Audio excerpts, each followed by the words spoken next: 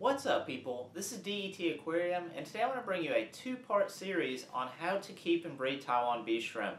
Now I'm really excited to bring this series to you. I have a lot of tips and tricks and just some basic bits of knowledge to really set you onto the right path. Now Taiwan bees in our shrimp community are really the pinnacle shrimp.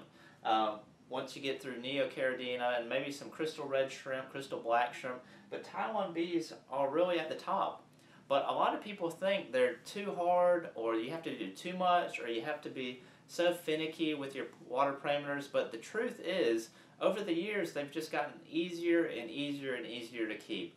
So I want to share with you what has worked for me in my experience. I hope you gained something from the series. So let's go ahead and get into it.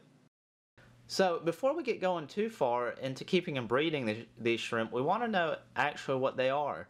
They're a Caridina shrimp species, just like crystal red or crystal black shrimp, meaning that they will interbreed with other Caridinas. They're actually a mutation um, from crystal red or crystal black shrimp. Now, that just means that along the way there was a funky color that popped up in a crystal red or crystal black colony, and somebody selectively bred that trait to continue that coloration or that pattern. And that's where we come along to this group of Taiwan bee shrimp that include patterns like the panda or black king kong or the blue bolt or red wine. And there's a couple other variations that are lumped into this category. Again, you need to know that there are Caridina shrimp species that were a mutation off of a crystal red or crystal black shrimp. As part of the series, I really want to focus on three main points with you. One being setup, planting and filling, and lastly, adding shrimp to your Taiwan bee tank. Now, I don't want to focus on the finite details of keeping and breeding shrimp in general.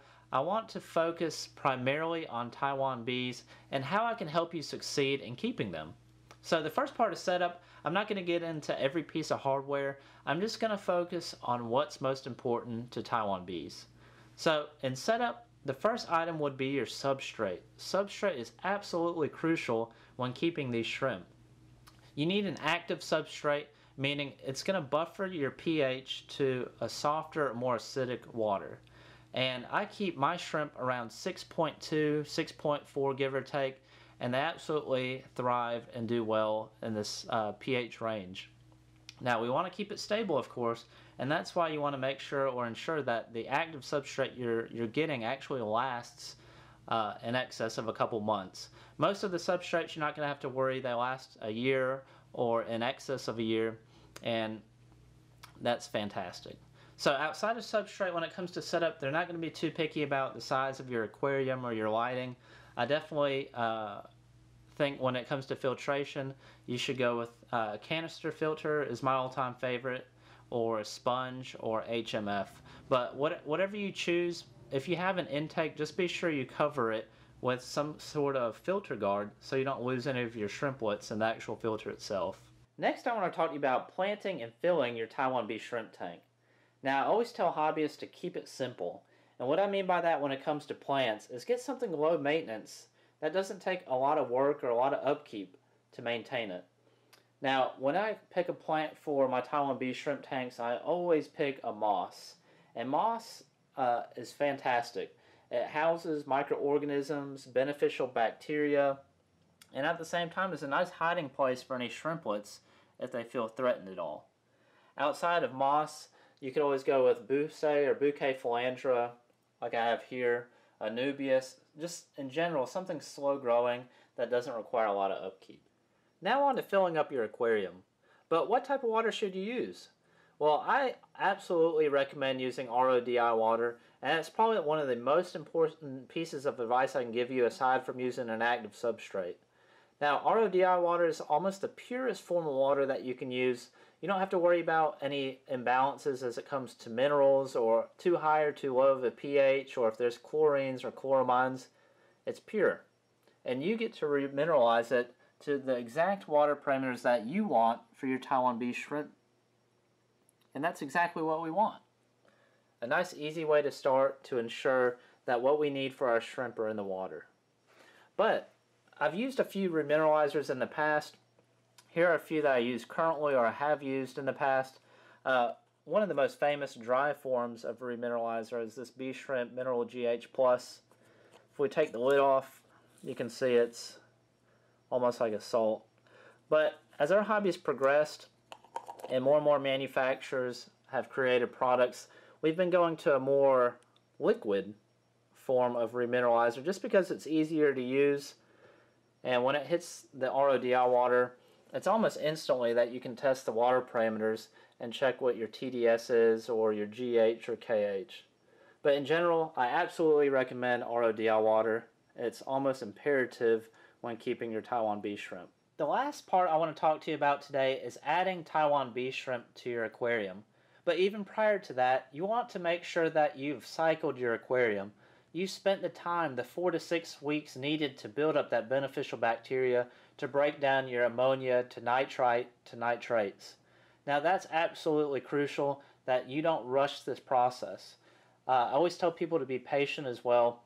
And whenever you set up your aquarium, you can't expect to add your shrimp in the next day or two. It's just not possible or probable.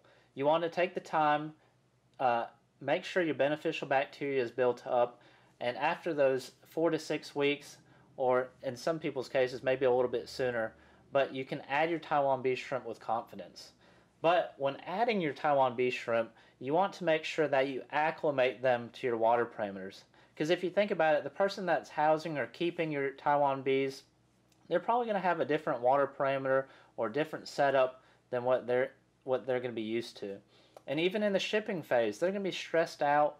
And uh, and whenever you get them, you need to make sure that you take the time to acclimate them. A lot of people do this already, but I, de I definitely want to touch base about the drip acclimation method. It's very simple. I just have this container here that you can use. You can really use a bowl. At times I use that as well. But um, you get your bowl, or in my case, this container. You get your easy to use drip line. Some people use something a little more fancy, but I just use a, a drip line with a knot in it. The knot is to regulate the amount of uh, water flow so it's not coming in too quickly. You put one side into the aquarium, you put the other side into your container, and you slowly let it drip.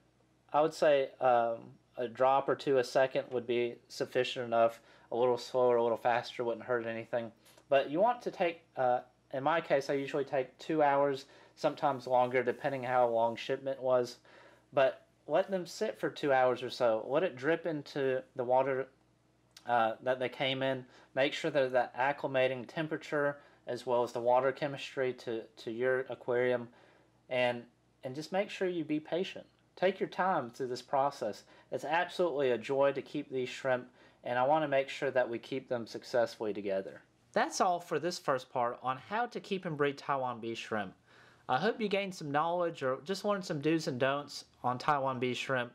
As always, I, I, absolutely appreciate your support. If you have any questions or comments, please leave them below. I'll get back to you as soon as possible.